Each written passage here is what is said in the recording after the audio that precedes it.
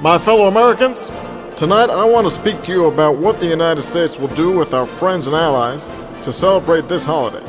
We've targeted CustomBobble.com to be our provider and will order fully customized bobbleheads for all our friends and allies.